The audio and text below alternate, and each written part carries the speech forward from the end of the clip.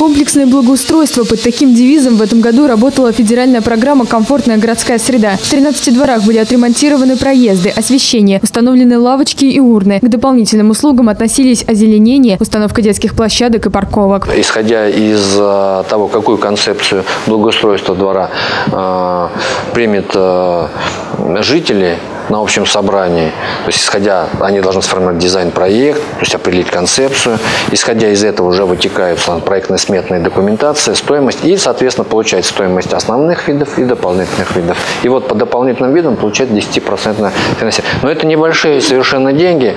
То есть получается, что э, получается менее 5% в целом, если это общий объем бюджета, э, ложится нагрузка на жителей. А между тем в Рязани есть множество дворов, которые нуждаются нуждаются не в комплексном ремонте, а во внимании городских властей. Так яма около театра «Переход», расположенного между двумя общежитиями, достигает в глубину 20 сантиметров. Преодолеть их становится проблемой не только для автомобилей, но и для пешеходов. А во время дождя лужа занимает все дорожное полотно, проехать по которому могут только опытные водители. Если есть на нормальных дорогах, то есть подвеска должна выхаживать в среднем. Это я вам говорю, человек как механик. В среднем должна выхаживать где-то 80-90 тысяч. Подвеска ходит не больше 15-20.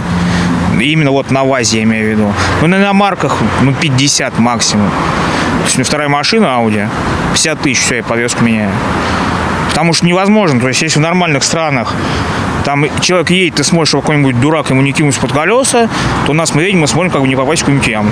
Не менее остро встает вопрос пешеходных дорожек, особенно если двор один на несколько домов. Такая ситуация на улице Высоковольтной, 18. От грязи жители спасают двери. Их положили местные активисты. Дыры в дороге залатали тоже они. Пригодился обычный щебень. Есть и другая проблема. С ней столкнулись жители дома номер 13 на Касимовском шоссе.